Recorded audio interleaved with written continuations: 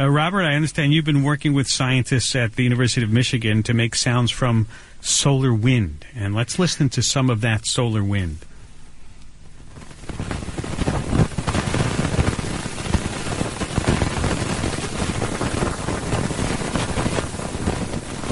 That is the sound of solar wind. What, what uh, Robert? First, tell us what is solar wind. Is indeed. So, the solar wind is a stream of highly charged particles that's constantly flowing outward from the sun.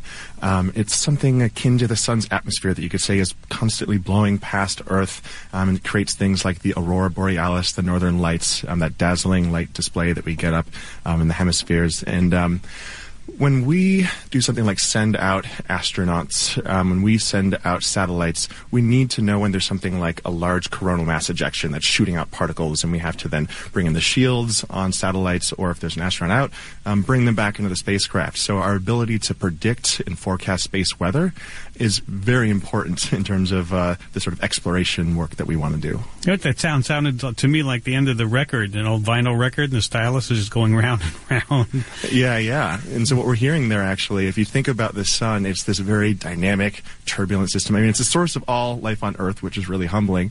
Um, but what we're listening to there, it's the the dynamism in the data. We're listening to there the magnetic fluctuations, and so uh, we're listening. Uh, it's the wind satellite, which is uh, there's a magnetometer instrument, and we're listening essentially to thousands and thousands of da- uh, data samples, and it sounds actually a bit like wind hitting a microphone, and that's Yeah. kind of cool that it actually relates back to something uh, like terrestrial wind here on Earth.